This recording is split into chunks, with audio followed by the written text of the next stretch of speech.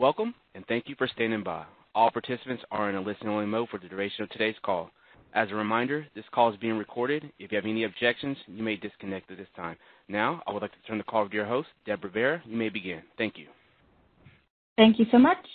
Good afternoon, and a warm welcome to everyone who's joined us. Thank you for being with us today. We are very excited to be hosting this question and answer webinar today about the Census Bureau's data platform, data.census.gov. My name is Deb Rivera, and I will be moderating the event. And in today's session, our speaker, Tyson Weister, will be spending some time going over the most frequently asked questions on data.census.gov. And with the help of my colleagues joining me today, we will be monitoring the chat and pulling some of your most pressing questions, which I will then read out to Tyson. That will be towards the latter half of the webinar. Having said that, I'd like to remind you all to please be careful not to include sensitive or personal information in the chat or the questions that you submit because we are recording. Some of these questions will be read out loud and they will later uh, be shared publicly once we release the recording. Also note that the question and answer session today will focus mainly on the platform data.census.gov. We will not be able to go in depth to address questions on 2020 census products or data. So again, uh, today we will be taking questions chat only, not over the phone, and you will remain in listen only mode for the duration of the webinar.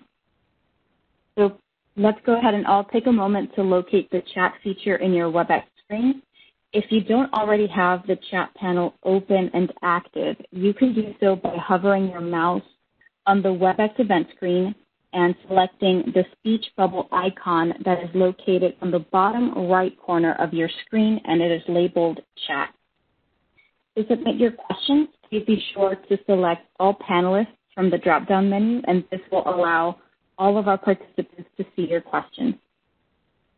Now, we hope to address as many questions as we can in the allocated one hour, but if we are unable to, we will also be providing contact information where you can submit your questions.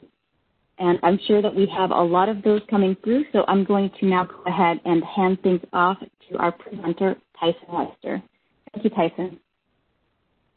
Great. Thank you, Deb. And thank you all so much for tuning into the webinar on data.census.gov, questions and answers. My name is Tyson Weister, and we'll go ahead and start diving into the content. What we have prepared for you all today are uh, the first half of the webinar devoted to answering questions that we've already received. So these are questions that you all either emailed in advance specifically for this webinar or just the commonly asked questions that we tend to receive in general. We'll touch on these topics from the standpoint of someone who may be using data.census.gov for the first time and have questions, as well as users who are familiar with the site and have questions about how to use it. The questions that we have kind of fall into these four categories, finding data, upcoming releases, selecting geographies, and downloading or printing tables. And then the remaining half hour of the webinar, we will devote to answering the questions that you all ask in the chat. Starting with a basic question, what is the recommended browser? Uh, data.census.gov does work best in Google Chrome. We do support other browsers as well, but you're going to get the best speed and performance when you use Google Chrome. If you'd like that full list of supported browsers, please visit the FAQ at the bottom of the slide.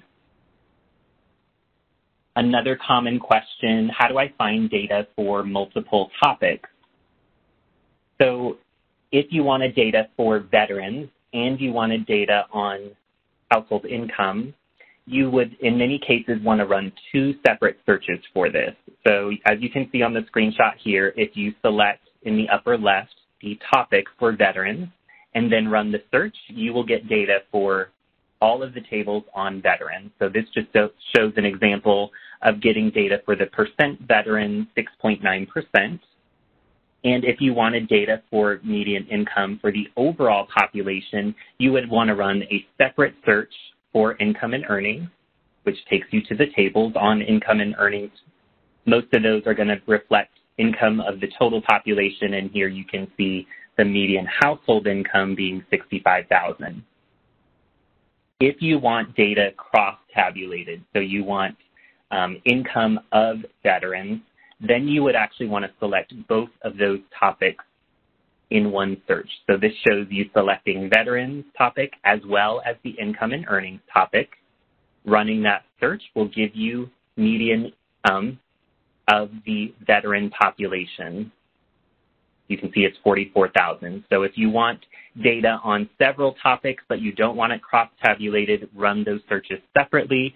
If you want data cross-tabulated, select those relevant topic tags in one search. Another common question, what data are available? On a high level, we have data from the American Community Survey from 2010 to the most recent 2019 ACS release, data from the decennial census from 2000 as well as 2010, and data from the economic census and selected surveys from 2012 to the present. So that's kind of the high level look. If you'd like to know detailed data sets, types of tables and the vintages that are available um, in a more granular specific level, that information is all available to you at the click of a button using the link on the left-hand side of this slide, which takes you to our FAQ. We also get this question phrased a little bit differently, wanting to know about other popular data sets that we don't currently have on data.census.gov and how to access them. Here we've laid out some of those for you and put together a collection of links that are targeted toward these specific types of data, whether you want data from population estimates, um, historical data from the decennial census, American Community Survey, and economic census, as well as special tabulations like the Equal Opportunity Employment Tabulation. These data, while they're not generally available on data.census.gov, you can get them from web pages, FTP or file transfer protocol sites, and the Application Programming Interface or API. Moving on to more focused data questions, one of the common ones we get is how can I get population density? We were not able, for technical reasons, to migrate those tables that had population density over to data.census.gov, but you can calculate that through other means of information.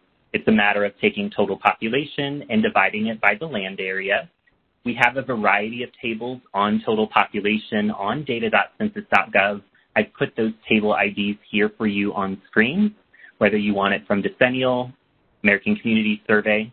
We do have one population estimates program table on our site. Um, so that table is listed here, but most of that POP estimates data are available through their program webpage if you need more specific information. So find total population on data.census.gov, and then the land area is through another resource called the Gazetteer file.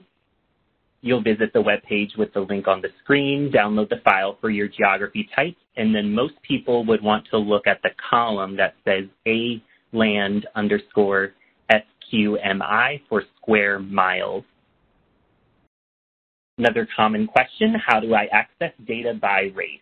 As you work through the advanced search panel, no matter what topic you're selecting, um, you're always looking for checkboxes as a final selection, and any words and phrases without checkboxes that you click on uh, means that it's going to give you more detailed options on your right-hand side to choose from. When you navigate for race data in particular, you'll want to look at topics, race and ethnicity, and then decide the level of detail you want to go into.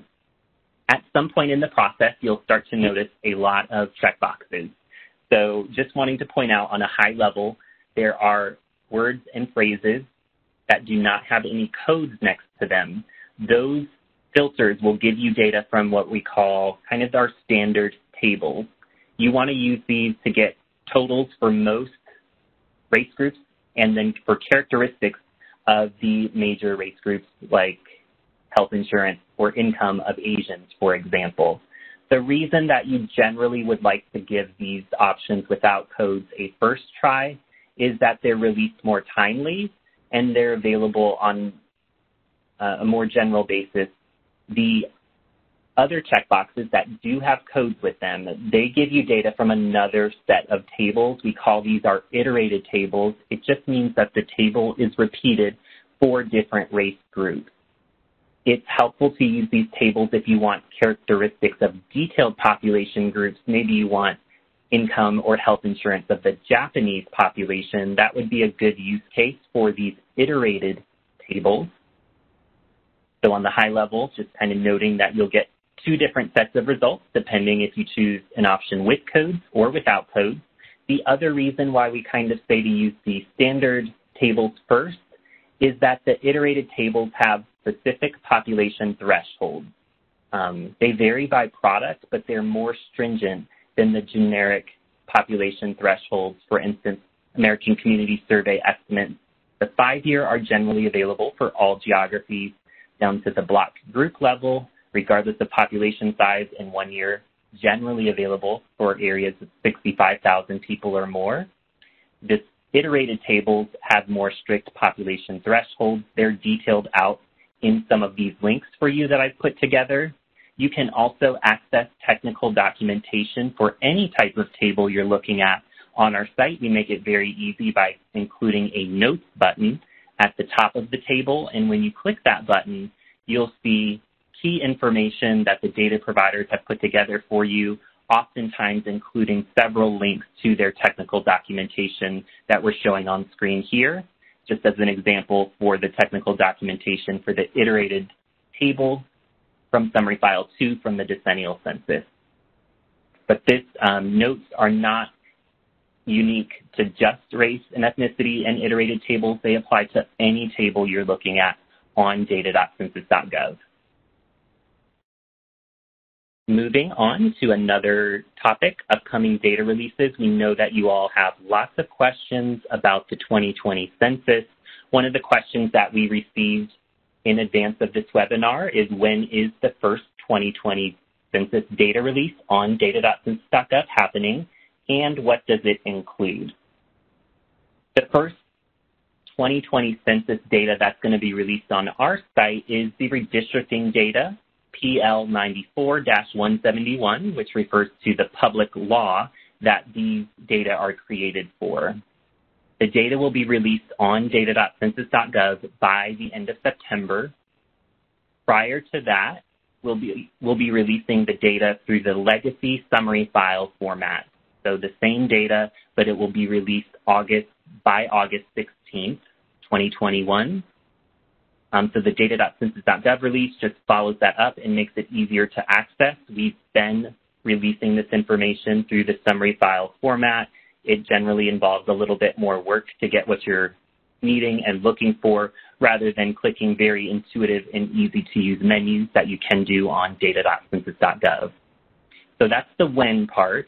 What does it include? Um, you know, it has a lot of unique data that's going to be released for the first time, but generally in the scheme of things, it's a smaller data release and the fact that it only has six tables.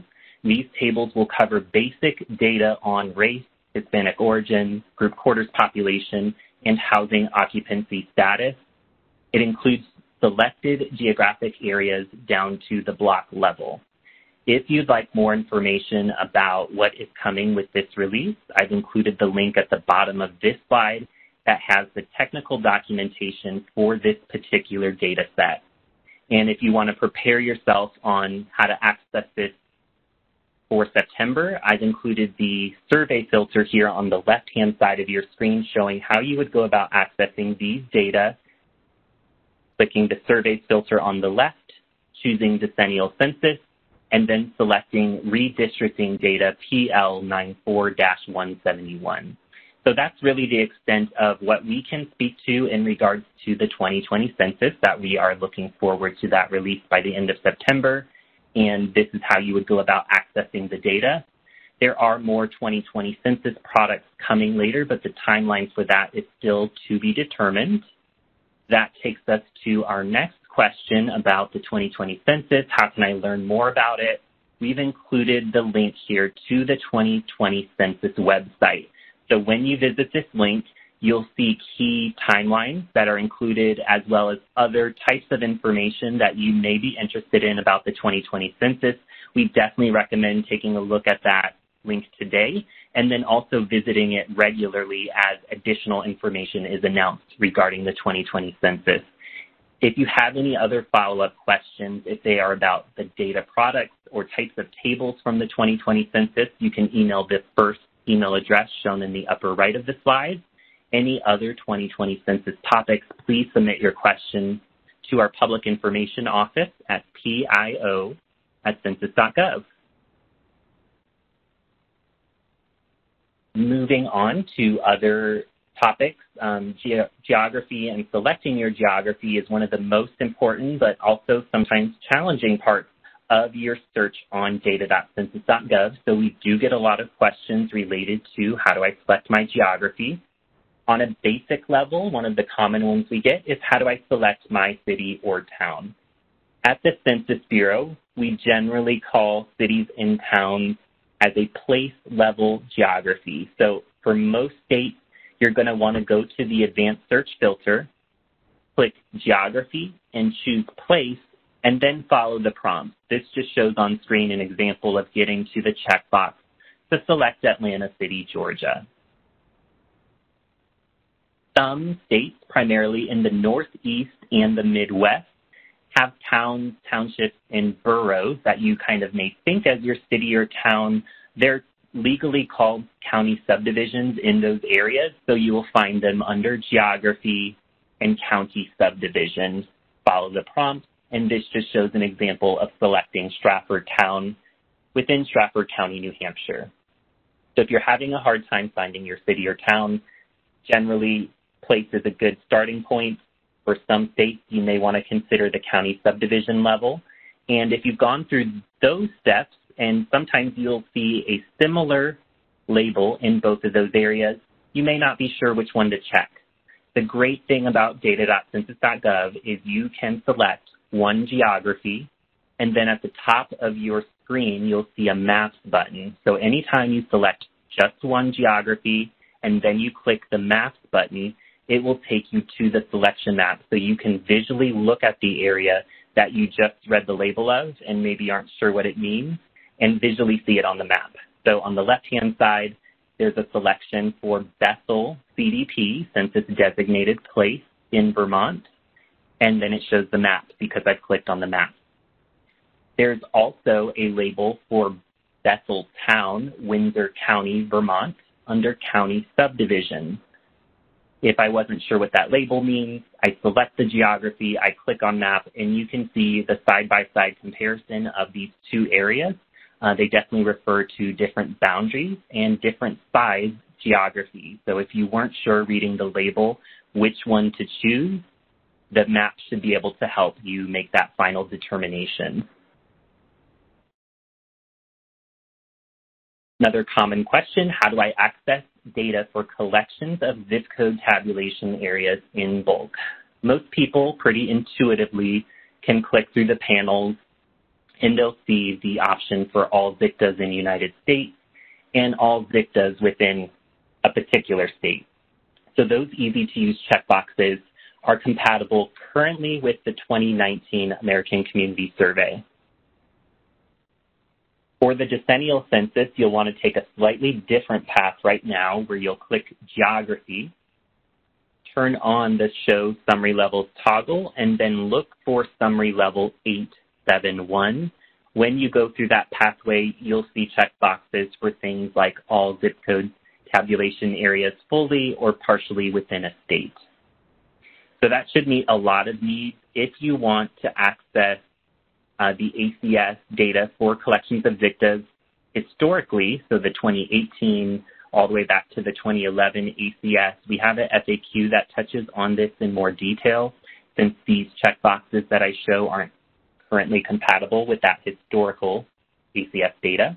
And then if you needed data from the decennial census for all ZCTAs in the U.S. rather than just all ZCTAs in a state, we also have an FAQ that goes into more detail on that. And sometimes users want to know what geographies are available for my data set.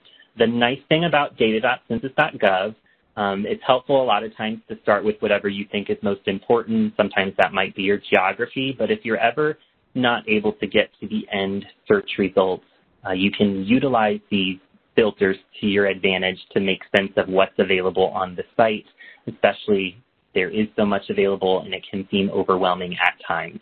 So if you knew that you wanted data from the American Community Survey five-year detailed tables, you could select that first as a survey, and then you could see the geographies that these data are tabulated for.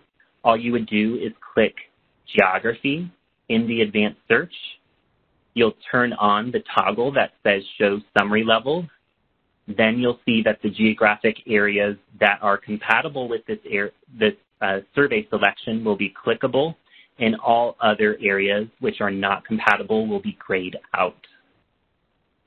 And what about other geography selections I need? As an example, I had a data user who was looking for all of the census tracts in Palo Alto, California. Um, couple things with that. We do not have a single checkbox that you can select on the site to get all census tracts in a city. And then on top of that, census tracts don't necessarily neatly align with city boundaries. So some census tracts may be fully in the city, um, some census tracts will be completely outside of the city, and some may be partially within the city. The good news is there are a couple of resources here where you could get a list of all of the tracts that fall fully or partially within another geography. And you can do this not just at the tract level, but different combinations of geographies that you maybe want to know are within a larger geography. Uh, one is the relationship file with the link at the very bottom of this slide, and the other is the MABLE Geocorr. So relationship files would be kind of the official way to get this information. MABLE Geocorr is a very easy to use tool. You just simply visit the website here that's shown on the slide. You'll select the state that you want, and then on the left, you'll choose the larger geography so we wanted census tracts in Palo Alto City, so we chose place. And then we wanted to know what the census tracts were within that area. So we chose the smaller geography census tract in that second column. When you make those selections, you'll be able to click a button and it'll generate a spreadsheet that has the list of information. And from there, you could individually select those census tracts on our site and of course, always tell us what other geography options you want and need because we continue to update the site based on user feedback. The email address for that is cedsci.feedback at census.gov. Also, there may be times where you want to know the geographies for an address. We do not have an address search currently on the site, but you can use the Census geocoder to find this information quickly simply visit the Census geocoder, put in the address. Here I put in the address for the Census Bureau regional office in California, and you'll click Find. And then you just view the results. You go to the Census Tract section and you look for the name. That's going to give you the very easy to read Census Tract 3105.01.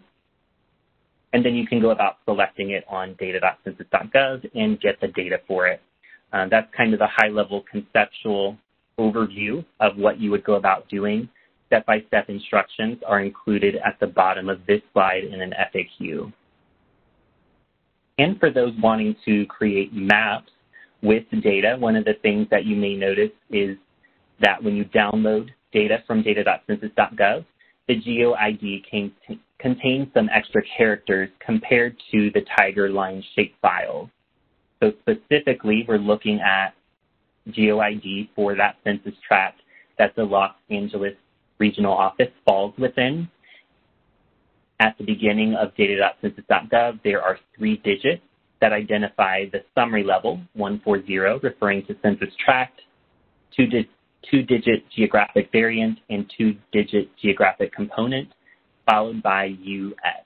So those are the extra characters that would be in the data.census.gov GeoID. If you visit the link at the bottom of this slide, we have a formula that you can use in Excel and apply to all of the GeoIDs from your download in bulk. So with just a few easy clicks, you could delete all of those extra characters and have a nice one-to-one -one match between GeoIDs so you could go about mapping this data using ArcGIS or other software. And to close out, before we start opening up for your questions that you have today, want to talk about downloading and printing tables. At the top of tables, when you click Customize Table and you're in the full table view, you'll see buttons that say Excel, Download, and Print. People are, you know, find those buttons relatively easy and intuitively kind of drawn into the download button please be aware that when you download data, it will give you machine readable output. So it's a really great file format if you wanted to sort, map, or manipulate the information. If you want something that looks like the table, like you're seeing on screen, and is more human readable, you actually would want the Excel file format option. So if the download isn't meeting your needs, click the Excel button at the top of the table and choose Export to Excel and you'll notice, as you can see on the right-hand side of the screen, it's a very readable file format.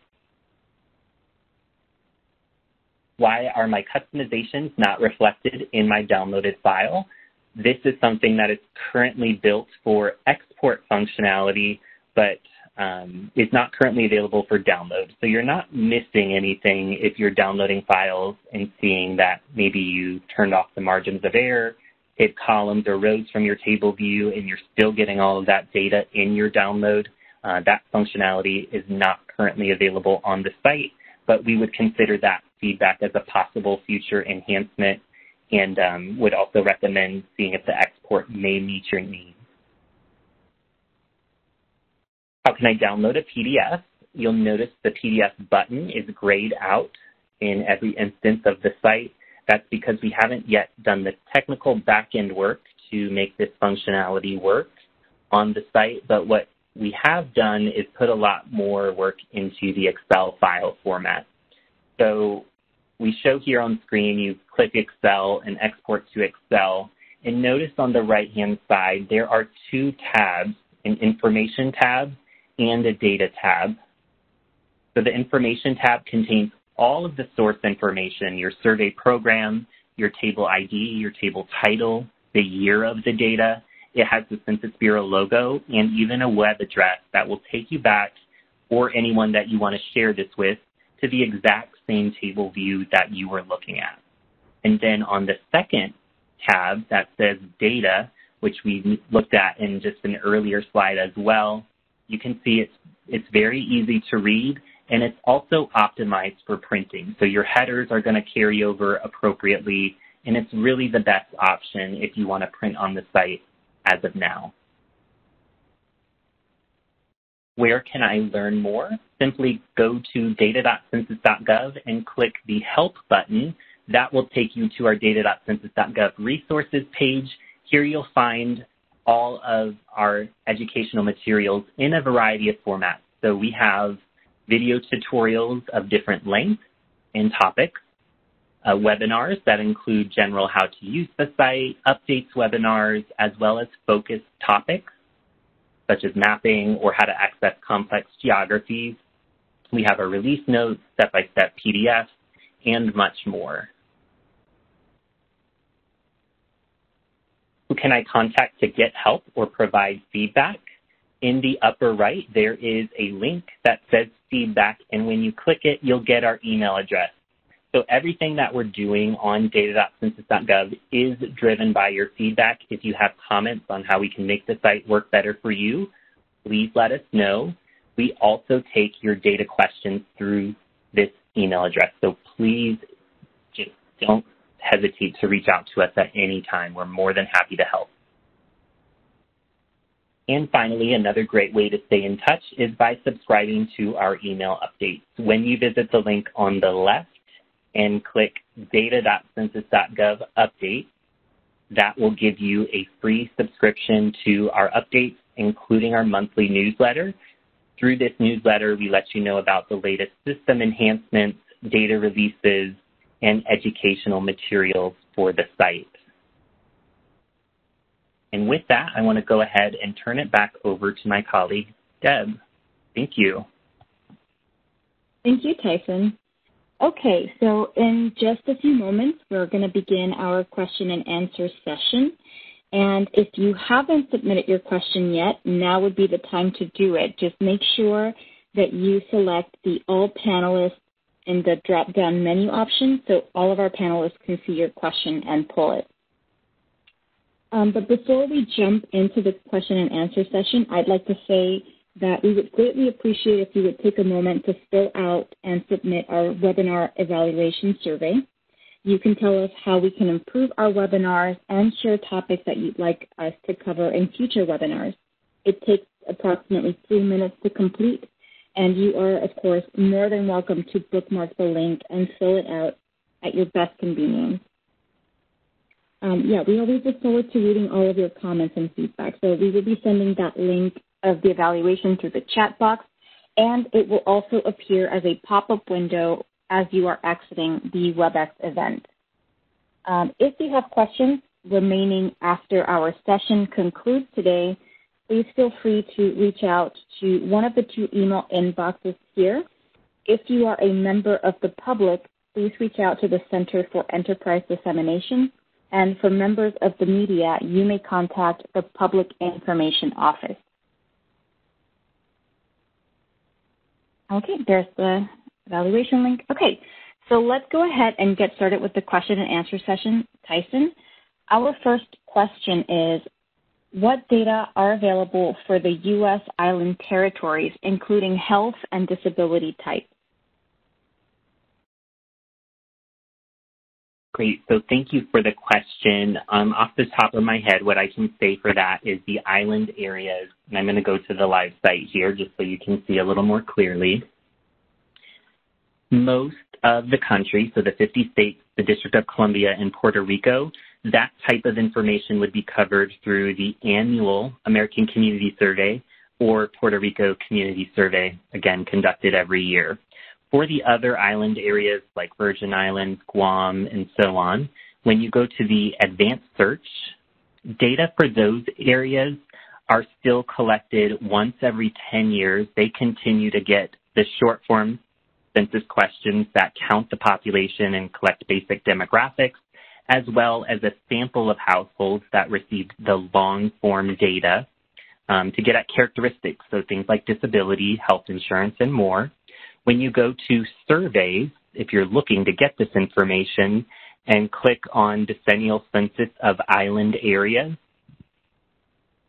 um, that's where you could pick one of these data sets. I, I'm not sure off the top of my head if all of the information related to island areas from 2000 and 2010 have been migrated, um, but what I would recommend is choosing one of these as a starting point. And then um, you can always select a topic as well. So under topics, health, you'll see disability or health. I would choose one to start um, and kind of drill into the tables there and see if that data has what it is that you're looking for. And if you have follow-up questions, we would recommend um, emailing us for more information. Thank you. And our next question is, so on slide 11, uh, do you have to select the year in years filter to get to the 2020 census after having selected the survey as decennial? Well, that's a great question. Um, you are more than welcome to select the year first. If you don't select the year, um, and I'll go ahead and actually show that particular data right now, surveys, again, the data for 2010 and, and 2000, but using that survey filter, so surveys, decennial census, and redistricting data. So that's going to be the checkbox that you'll want to select either way. You could go ahead and select a year first. If you don't select a year and you run the search and click on the tables, what you're generally going to notice is the most recent data will appear at the top of your results. So you'll notice at the beginning, there are a lot of tables for 2010. And then as you scroll down, you'll also see some data for Census 2000. So you're more than welcome to select a year if you just want to narrow to the 2020 census, but if you don't, you'll typically see those results at the top of your table relevancy. Thank you, Tyson. Our next question is, where can I find pre-1990 decennial census data? Yes, thank you for the question. So when you, um, I'm going to go ahead and navigate back to one of the slides so we can talk about this just a little bit more. The pre 2000 census data, so 1990 and earlier, are available through a couple of different resources. There is some information through this web page. Again, these slides will be made available and you'll be able to click those links or you might be able to see it from my address bar as well while I'm on the page. Um, this will give you some of the information from every decennial census in PDF format. So it's really helpful for more common types of geographies or common types of data. If you're looking for the full set of data or more detailed geographies like census tracts or blocks, for instance, the FTP site would be a better way to dive into that information. And if you have follow-up questions, um, our focus and area of expertise is the data that is on data.census.gov.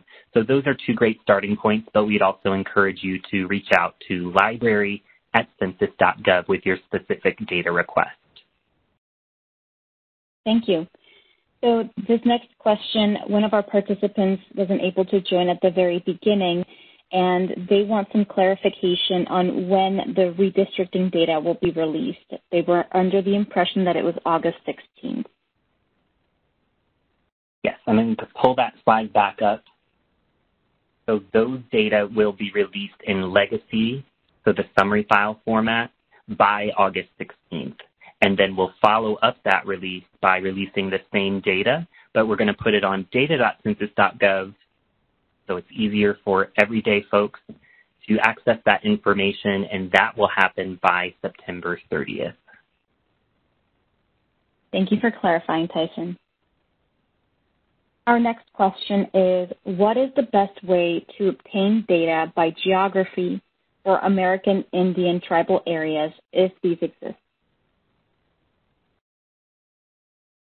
We definitely have a lot of information for American Indian Alaska Native. That could honestly be its own webinar.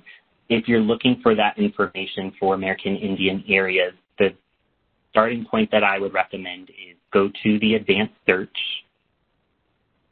and then on the left click on geography.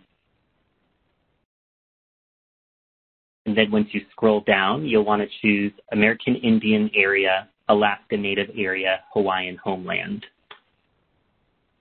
So from here, you could scroll through the list.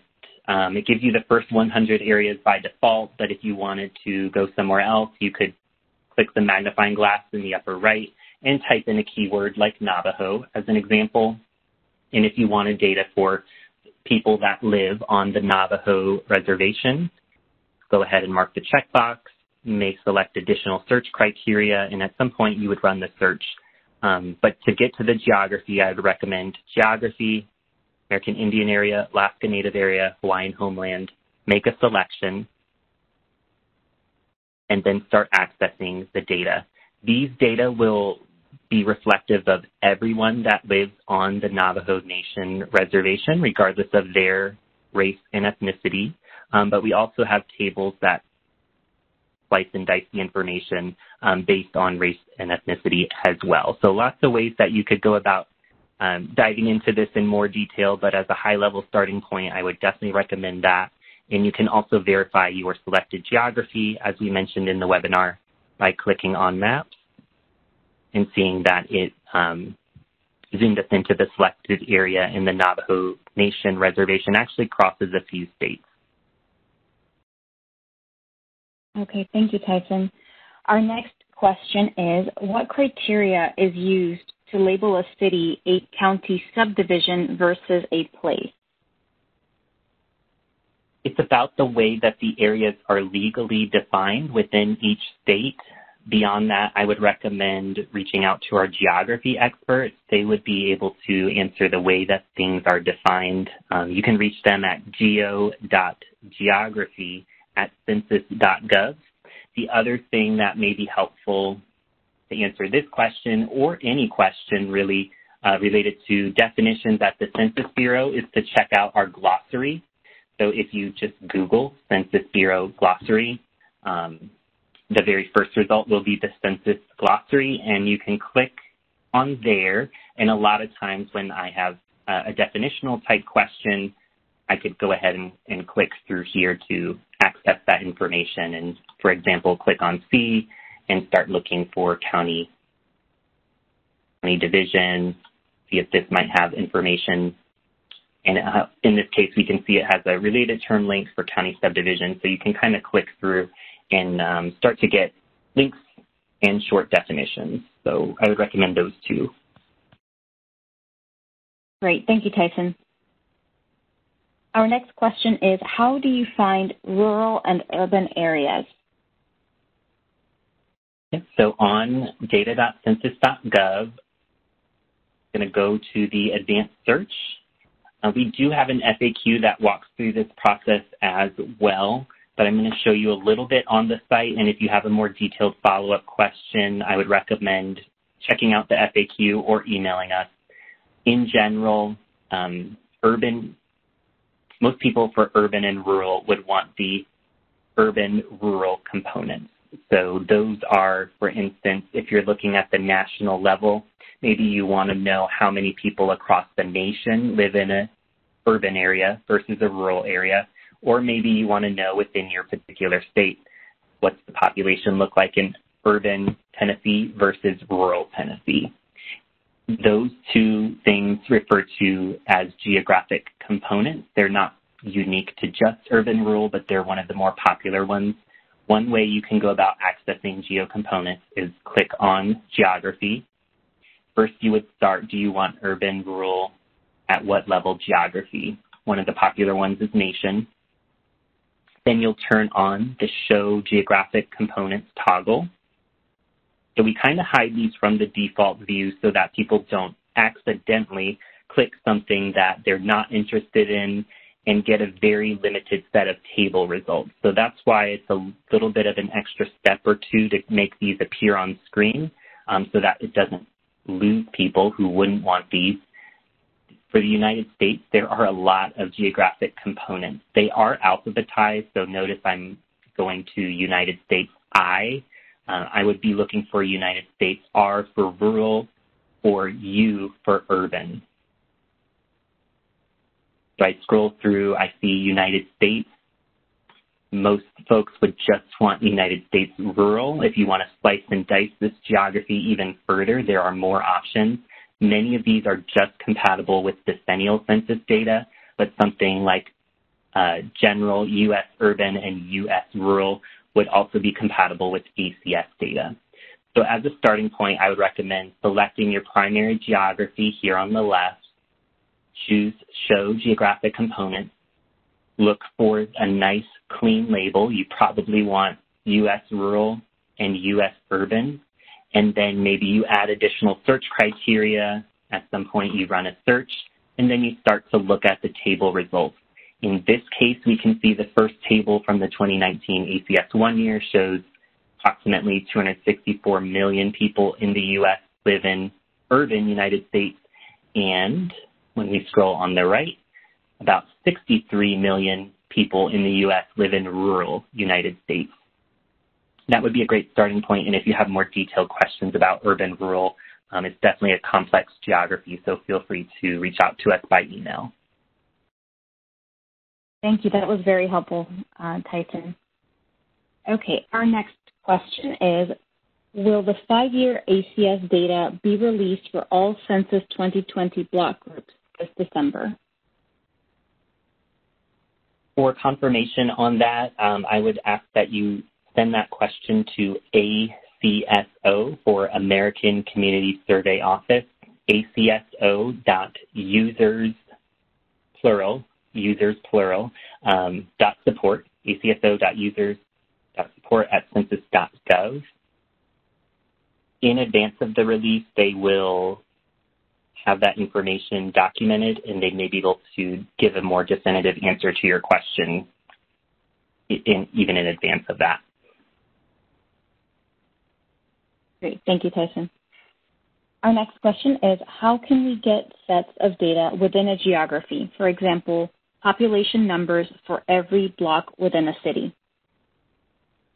So there's a few different ways we can go about that. And just to see it a little more clearly, I'm going to pull up here on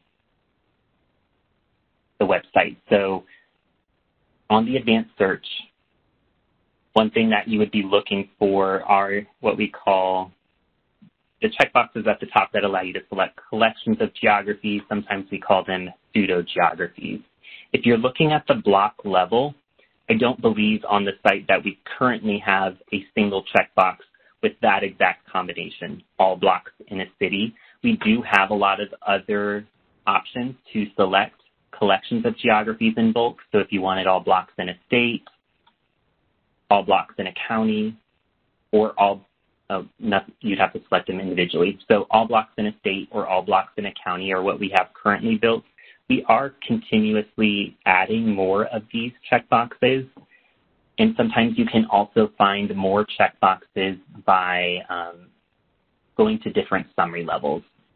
So when you turn on the show summary level toggle, you may see multiple options here that say block groups or block. And you may want to click on a few of those just to see if they have something for all blocks in a city. If there isn't one here on the site, again, you're more than welcome to email us so we can double check what's available in your specific use case. The other option to get this information would be either the MABLE Geocorr or those relationship files. And I'm navigating back here on the slides just to pull it up on screen one more time for you. That was this slide where we had talked about this website. In your case, it sounds like you would want to first select a state, then choose place, and then choose census block. And when you run that search, it would give you the list of all census blocks um, in, a, in a particular cities within states. In addition to that, again, the geography relationship file would be another way that you could go about getting that information. Not going to go through the steps here, but I would recommend checking that out. And if you have questions about this resource, you can also email geo.geography at census.gov. Thank you, Tyson. Our next question is, how do we stay informed about changes that are made to tables in the ACS? Yeah, thank you for the question. When you go to census.gov, I would recommend going directly to the American Community Survey website, so census.gov slash ACS. And under technical documentation on the left-hand side of the screen, I'm going to click that. And then you want to look for the table and geography changes. So once you click table and geography changes, it will ask you kind of what vintage you're looking at and do you want the one or the five year estimate. So I'm going to click as an example table changes under the tab for 2019 and 2019 ACS one year.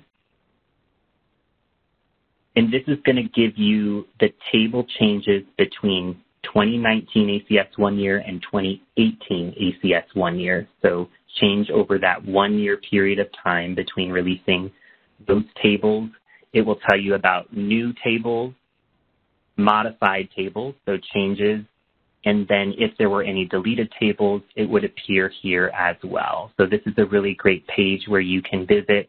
If there's a particular table ID you're searching for, I recommend pressing Control F on the page and searching for your table ID to see if there's any information about what it is that you had in mind you were looking for, as well as just browsing it in general.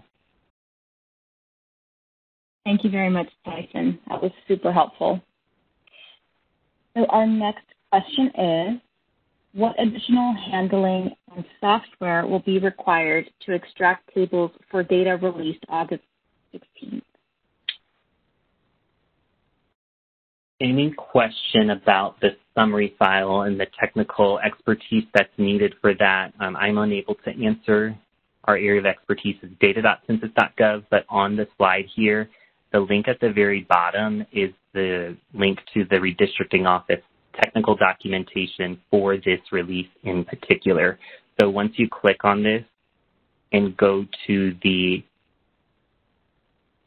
technical documentation, you can see the first link here is the Census State Redistricting Technical Documentation. That will have all of your questions answered. It's very detailed, 247 pages, um, but you pro should probably get a sense within the first couple of pages as to, um, from a technical standpoint, what would be involved, at least on a high level.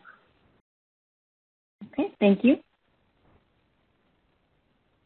And our next question is, where can I find ZCTA data for 2018 and earlier?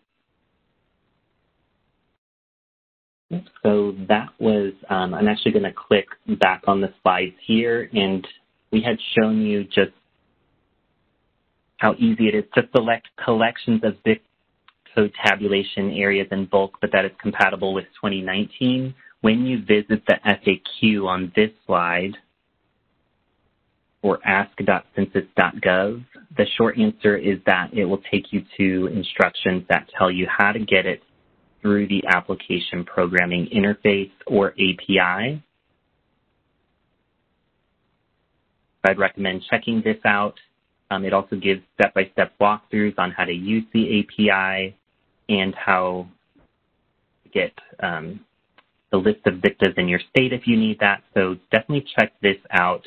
And if you have questions about using the application programming interface or API, our area also handles that. So you can email the same email address that we're showing on screen today.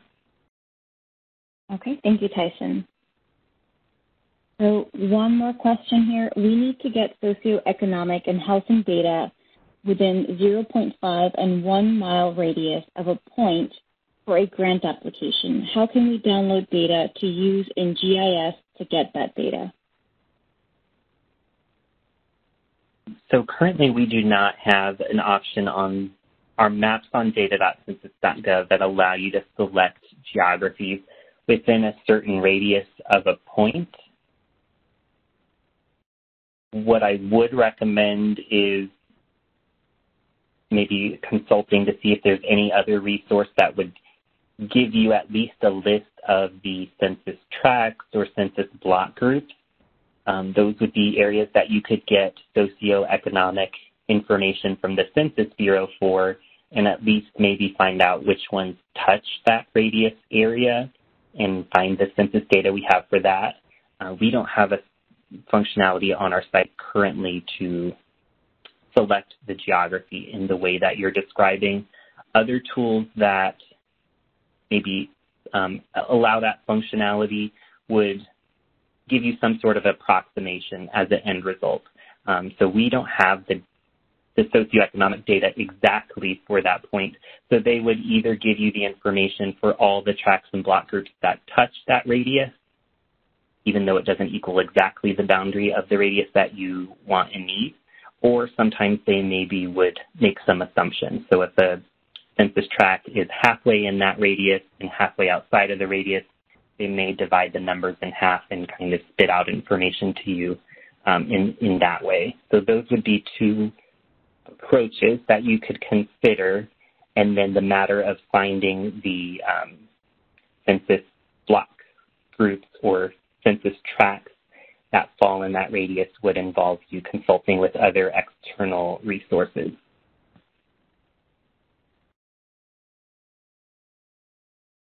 That's excellent. Thank you so much, Tyson. And that is the end of our questions. So I'd like to thank everybody who submitted a question and also for the great feedback that we're receiving via the chat. So thank you very much for your participation. And now I'm going to turn it back to Tyson and we can go ahead and wrap up the webinar for today. Great. Thank you, Deb. I just wanted to close out with one additional resource that is available and it's through our data dissemination and training branch at census.gov slash academy. That is the educational hub for the U.S. Census Bureau. They have webinars, short videos or data gems, and other resources on a variety of topics and tools across the Census Bureau, not just specifically ones related to data.census.gov. So definitely recommend checking out for those reasons. In addition, at the bottom of this slide is a link to request a free training from your local data dissemination specialist. So there is a specialist assigned to your state, and if you'd like a local training, simply email us at census.askdata at census.gov or 1-844-ASK-DATA. Thank you again all so much for tuning in and for your great questions, and we look forward to staying in touch with you on a future webinar. Thank you for your participation. This concludes today's conference. You may disconnect at this time. Thank you. Speaker, stand by.